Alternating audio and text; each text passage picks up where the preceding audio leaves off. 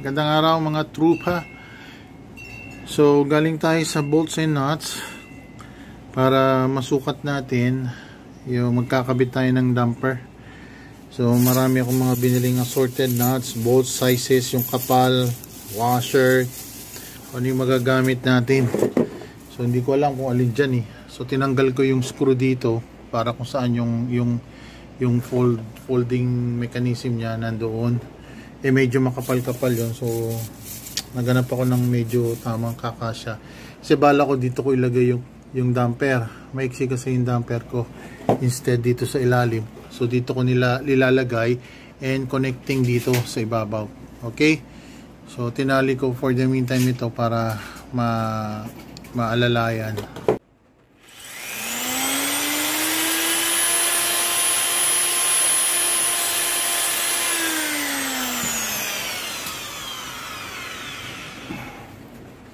So, binutas natin ngayon, gumawa tayo ng brace dito kasi hindi na natin kayang ikabit dito.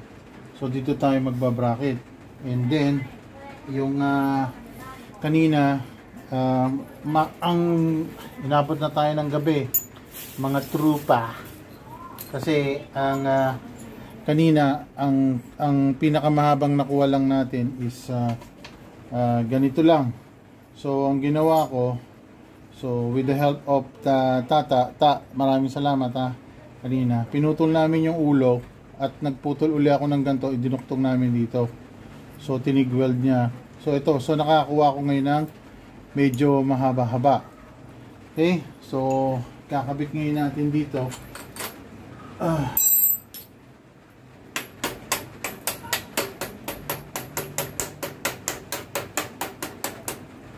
Yan.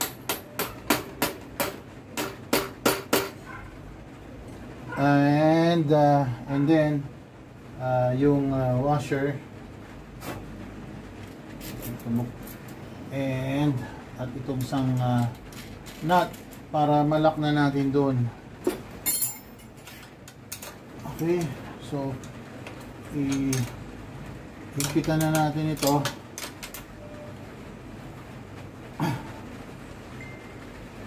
Ayan Masyado siguro. Baka hindi mag maghiwalay yun. Tamang higpit lang siguro. Yan. So, ngayon, ito yung uh, butas natin. And, kabit natin ngayon to. So, yung damper gagawin natin hindi natin masyadong uh, ilalak so yung tama lang. So kukuha pala ako ng goma para hindi masyadong maingay dito. Uh, balik tayo. Wait lang ha? Okay. So gamit tayo ng malit na goma para lang to avoid yung medyo maingay na umpugan. Oy. Kasya naman ito.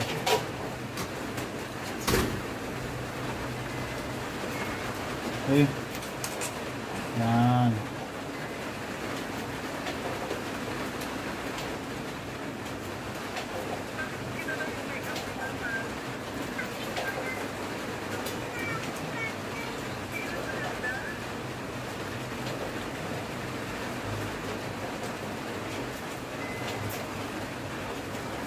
So, kitangin natin. Uh, so, may alerage. Okay.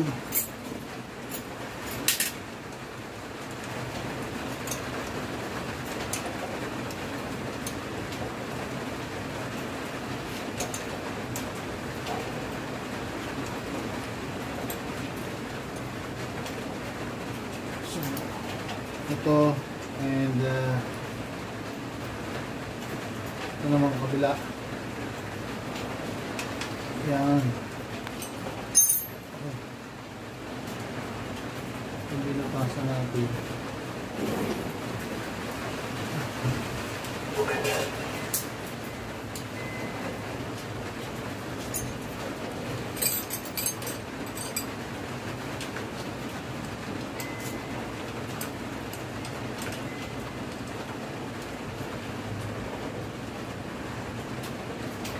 Okay. So, yan. Ang ating uh,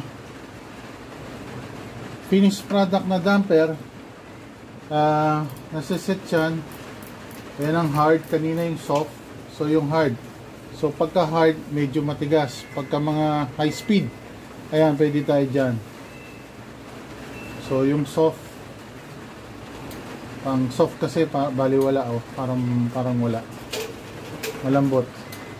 So, hard setting. Ayan. Alright! Ayos ang uh, pagkakagawa natin.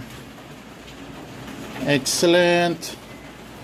Maraming maraming salamat. Subscribe po tayo. Hyperscoot 22. Mga Lodi. So, masaya tayo ngayon. Successful ang ating DIY. Alright. Thank you very much. Okay, mga trupa. Summarize natin yung ginawa natin, no? So, kung makikita nyo rito ngayon, okay, so ito, hindi na yung uh, palitan, pinalitan ko na yung screw niyan. Medyo mahaba. Ngayon, kung meron kayong makikitang mahaba niyan, mas mainam. Yung standard niyan, mo lumagpas ng mga 1 and a half, 2 inches siguro dun sa dati. Kasi ang nangyari, maiksi yung yung yung una, yung pinakamahabang available bolts yun lang. So ang ginawa namin, pinutol namin yung yung ulo nung isa at uh, pumutol pa ako ng isa pang mga 2 inches noon para ikabit doon sa pinagputulan ng ulo. So, ang ang merong may gamit sa amin si Tata. Maraming salamat pala sa iyo. Shout out sa iyo Tata, JJE. So, tinulungan niya akong idikit yung screw. Merong siyang ano, ano tawag doon, yung yung pang welding na isang klase. O basta 'yun. So, 'yun. So, na ilagay na po natin ngayon. So, sakto. Kasi kailangan natin ng mahabang uh, nut para merong play yung uh, damper. So, ngayon, nilagyan na natin dito para sikipan. So, meron siyang allowance ngayon. At nilagay ko na yung, yung uh, nut sa dulo. Yung nut niya, yung thread, yung may thread lock. Yung ganon. Okay? So, and then, meron akong goma na maliit na parang anong tawag doon sa mga seal yon kung makikita mo rito ayan magkabila siya yung goma na black para pag tumama dyan walang nang tunog kasi kanina tok tok tok malakas ang lagapak eh para kasi pag iniikot mo yan nagpe-play eh. Nagpe-play yan eh. So, wala nang tunog ngayon. Okay, so mapunta tayo ngayon sa baba. So, dun sa baba naman, actually, kung mahaba yung damper mo, pwede siya rito. So, ngayon, bago mo maikabit dyan, kailangan mo rin ng spacer at kailangan mong palitan ito. So, ang iniisip ko, kung papalitan ko yan, Diyan nakakabit ang spring. Ang problema ko ngayon, paano ko matatanggal ang spring at paano ko mahahatakin ang spring dahil napakahirap hatakin po niyan. Dahil malaking spring po yan, hindi yan yung mga malilit lang na kayang-kaya mong hatakin lang ng alambre. Hindi, napakahirap po niyan. Kahit nga pagka ibababa mo to, ifo-fold mo tong scooter eh. Kulang na lang parang lagi kang pinapalo ng tubo sa ulo pag tinupi mo dahil lag ka nauuntog. So, ang ginawa ko, dito, sa may screw ito, sa ibabaw lang, nagbutas ako ng sakto dun sa uh, tornilyong gagamitin ko. So, ganyan kahaba yung ginamit ko, mga 2 inches siguro yan. Yung bolts na yan. And then, nilagyan ko ng, ano, lock nut. Oh, yan. And then, ito yung kabila. Ba? So, ngayon, para magkaroon ng play, gumalaw, nilagyan ko siya ng dalawang ah, nut din doon para para siyang maging washer niya. Para maging washer. Oo. So yun, sa kaya may play, may play siya ngayon. So kung ililiko mo siya ngayon, ay tumatama sa, sa bike. Ayan. So sa kaliwa, teka nga, tumatama yung isang scooter eh. Ah, ah. Atras natin. Yan. So, ayan yung left, right, ha, left, right. Wala na siyang ingay at kalog.